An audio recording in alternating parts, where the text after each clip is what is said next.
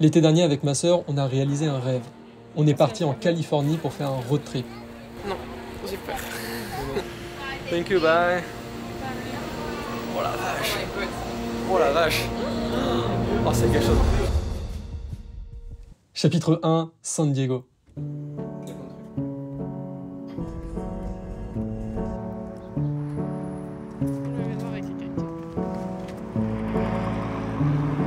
Pour commencer ce voyage, on passe un peu plus d'une semaine à San Diego. Et on est tombé amoureux de la ville. Cette ville est très étalée, il y a énormément d'espace pour circuler, pour respirer. Et durant nos différentes balades, on est rentré dans une librairie qui avait une décoration hyper atypique, trop charmante.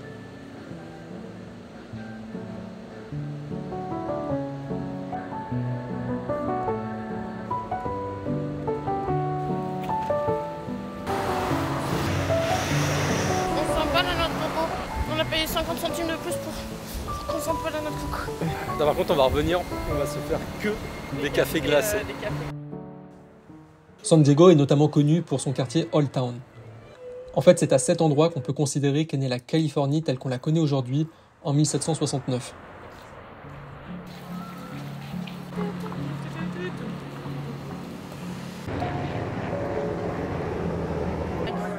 Euh, date.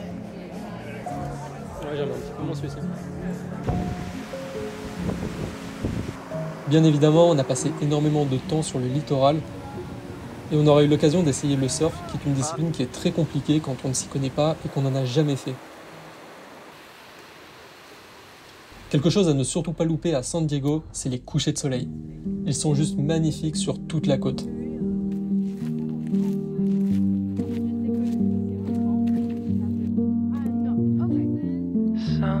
Ancient call that I've answered before. It lives in my walls and it's under the floor.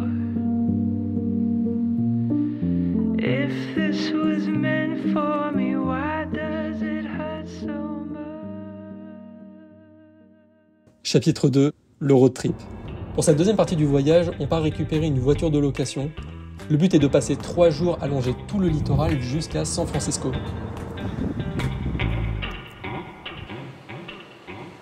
Et forcément, pendant ces trois jours, on s'arrête à plein d'endroits différents pour faire plein de plages différentes et également visiter quelques villes sur le parcours.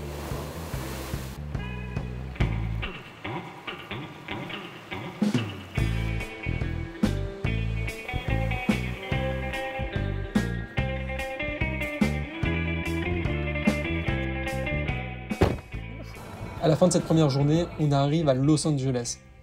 Et là, on voit au loin le soleil qui commence à se coucher. Du coup, on garde très rapidement la voiture et on part directement sur la plage pour admirer les dernières lueurs de la journée.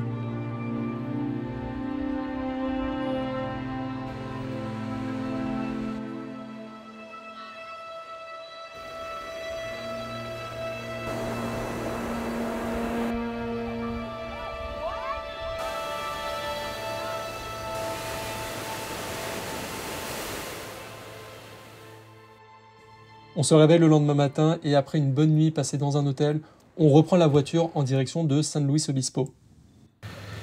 Après 40 minutes de route, on s'arrête à Santa Barbara, qui est une ville avec une architecture très colorée, très mignonne.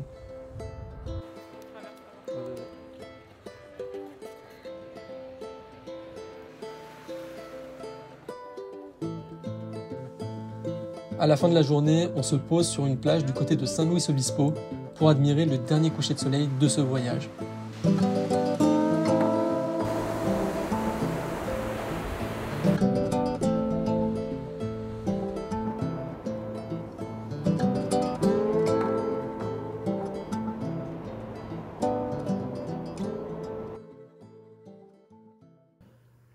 Attention, 10,16€. Bon appétit. On reprend la voiture pour notre dernier jour de road trip. Et sur le trajet, on va s'arrêter au parc naturel de Big Sur. Et c'est magnifique. Il y a des rochers, il y a beaucoup, beaucoup de vent. Et euh, il y a beaucoup de nuages aussi, malheureusement.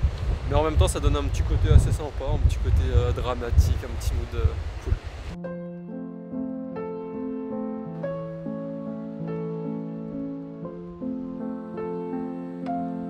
Avant de rejoindre San Francisco, on décide de visiter la ville de Santa Cruz.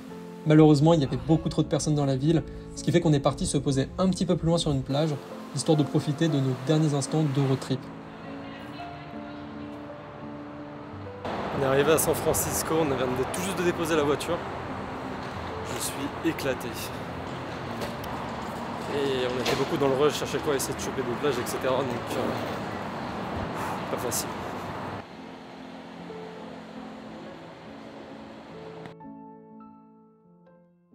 Chapitre 3 et dernier chapitre, San Francisco. Là pour le coup, le décor change complètement. On se retrouve dans une ville avec moins de végétation, plus de bâtiments, plus de maisons. Également, la fatigue commence vraiment à se faire ressentir. Par conséquent, on fait un petit peu moins de choses sur cette dernière semaine à San Francisco.